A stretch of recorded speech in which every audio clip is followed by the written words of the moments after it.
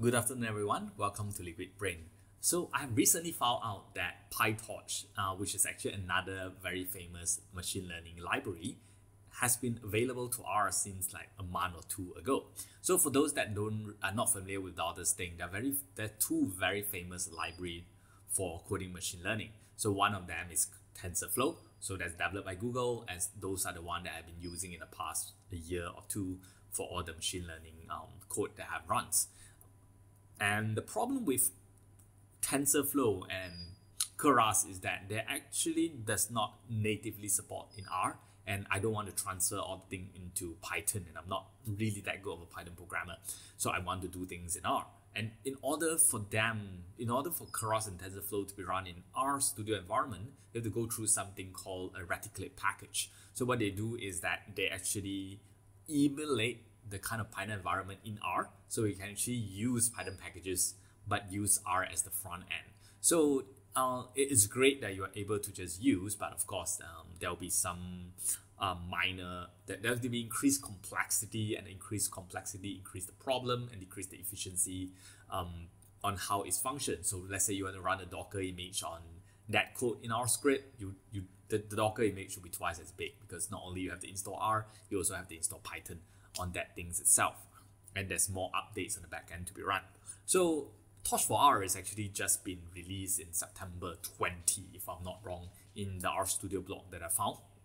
So what difference is that this allow for native support in our system because it's based on the C++ library. So you no longer have to care about your Python environment in your computer. In order to run this, you just have to run it on your uh, R, R Studio in our system. So uh, today I just want to show you some very, very simple uh, neural network uh, and how to you run this neural network in the Torch environment in R Studio. Okay, um, one thing is that I haven't got CUDA running. I'm not sure why. I've tried 10.2. So is the, the CUDA support for TensorFlow is actually 10.0. So you need to update to 10.1 or 10.2 for Torch R to work. But I haven't got it working I don't know why and I will I'll update next time with a much complicated code. So today is just a simple neural network on Iris. Okay, so the first thing is to actually check, uh, of course, the first thing is to install the package. I'm not gonna think I think you already know that. So you go to package manager, torch and just press install and that will install the environment. And after you install, remember to run library, library torch to include the package into your environment. And that will actually download another 160 megabyte of documentation that will be installed on your local computer. And the first thing I always run is actually check if CUDA is available and they'll actually select the torch device based on the best thing that you have. Because if I actually run CUDA now, you just give me a lot of error message and it doesn't work. Okay, so PyTorch again is also relatively straightforward compared to the compared to to the Keras and TensorFlow because you don't have to go through Keras to into TensorFlow. But you know, Keras is more simple and so on. But we're not talking about them two today. So in, in PyTorch, uh, sorry, in Torch for R, how do you define a network is very similar on how you define a function actually. So in this case, the model is actually using a function called NN where you define your layer individually. Okay, so how do you do that is that you just put model equals to NN sequential. There's a sequential neural network. Layer one is um, you have a four input neuron and eight output neurons. So this is your overall input into your network. There's four inputs and you're running a ReLU activation function for the layer one. On layer two, you're taking the eight input from layer one and pass it into a 16 neuron output. And this is again another ReLU um, activated function, and you pass it to the third layer where you pass the 16 neurons back into 3. So this will be 4 to 8, 8 to 16, and 16 back into 3. So the overall network structure has a 4 neurons input and a 3 neurons output. Okay, so remember that. So here we are trying to get um, an iris data set to work. So what all this complicated function actually means is just to split the data set into test and um, training. So what let's do is that you can actually have uh, here x train and y train. Let's go to x train. Oh, it doesn't. So yeah, so it's not not as easy to visualize. But remember in the iris data set, you actually have four uh, parameters per, per species. Okay, so what does that is that they have sepal length, sepal width, petal length, and petal width. So these are the four input that we want to do. And the species, which is the species of the flower, is actually the output that we want. So we want to take these four input and generate an output. But before we can do that, uh, unlike Keras and TensorFlow, we just pass a matrix in. You actually have to convert the matrix, uh, pass it as a numeric, or pass it as a uh, yeah, you have to pass the thing as a matrix and then pass it as a numeric, and then again pass it as a torch tensor. So the, the tensor helps the PyTorch to calculate better as well as faster.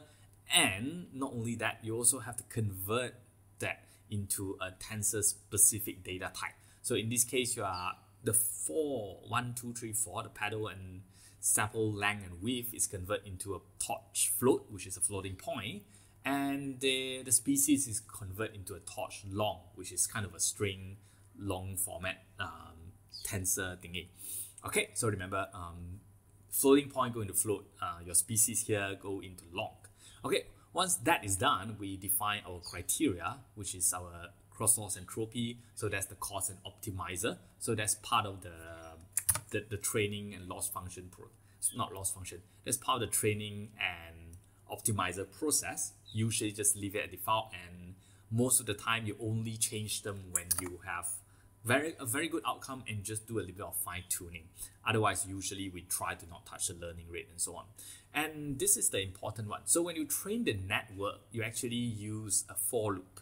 Okay, so for y it's in how many epoch. So we're, we're trying to get epoch. So the first to the 100 epoch over here. First first thing first, we set optimizers optimizer to, to zero. So we want to reset optimizer before we start training network and we just define this thing. So what does this does is that the model, which is what we we have uh, defined earlier, like that, will take the four input and the three output. Okay, so what this does is that you put in X train. So if you go to X train here, the environment, you actually can see that, not, not this one, this one. Okay, you can see that this is the, the sepal length and petal width. So these are the four input every row. So every row we fit in the four inputs sequentially. Okay, and then the, the model should be able to output the Y predict. Okay, so the Y predict is the the what is that called? The um, the species that we want just now. Okay, so you can see there's three columns here. So the three columns are actually the first one refers to the the what is that called? The the Sentosa, versicolor and virginica. So that's why they are, they're, but they're all in numbers because you know computers deal with number better, and that's something that I read I preferred on Keras, and I think Keras is a little bit more straightforward. With you know the first neuron is Sentosa, the second neuron is that. So this is the probability of going into each neuron. Okay, so the loss function will be the criteria, and the, and this is the the loss backward is the um, the back propagation step and again an optimizer step for to change the learning rate so that we don't overfit the so we don't overshoot the local minimum that we want. Okay, so check in training this will be the the output process. So that's the verbose equivalent of uh, of Keras that how, what kind of um, accuracy and what kind of uh, epoch are we running on in this case. So so what we end up is when you run this function, it will actually give you for every 10 um, epochs, it will give you a loss. So what is the total loss? Yeah, so you, you want to have a, a practically the lower number of loss means the more more accurate your your network becomes, and the accuracy will become uh, zero. And when your accuracy is zero, I don't know why because it's actually 100% correct but the, the I think the accuracy is something wrong with. I need to check on this. Okay, so what that means is that now we have gone through a 100, 100 epoch. We have a very low loss and accuracy of zero means it's 100% accurate. I assume so. I'm not sure why the the, the, the script is, is I follow. Uh, I actually copied this from from the website over here. I did not code this thing myself. Okay, so once we have done the model, so what we can do now is actually just fit in the input. Okay, so this is actually, just restructured this so it's a little bit easier. So now we want to predict that what the things that we have done, right? So I would say this is called a new input. So we just put a new input back into the model. So what we I've done here is actually just use the same logic that we've done with the training data set above, which is convert the first four column. So sorry, one to five means the first five row, uh, minus five the first four column because we're to delete the fifth column. So if I actually just show you this, it's actually four columns and five rows, convert to a matrix, converts to a torch tensor, and convert everything to a float data type, and then convert into a new input and put a new input into the model. And as you can see, um, because the first five of Iris data set, let me just do that again, it's all, it's all Sentosa. So you can see that when I'm putting the, the new output into my model, I always have the highest number in the first column. So the first column refers to the probability of this being correct. So in this case, 33, 30, 31, 29, 34. So they all refers to the first um, column, which is Sentosa, and the second two will be slightly lower.